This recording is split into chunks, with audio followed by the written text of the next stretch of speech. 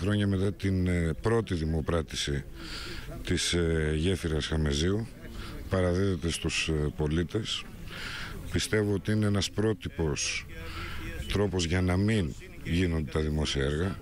Ήρθαμε να ενημερώσουμε για την κοινή πεποίθηση όλων μας ότι ο βόρειος οδικός άξονας Κρήτης πρέπει να φτάσει μέχρι τη Σιτία όπως και να ολοκληρωθεί όλο το οδικό δίκτυο ε, σε όλη την Κρήτη με τους κάθετους άξονες.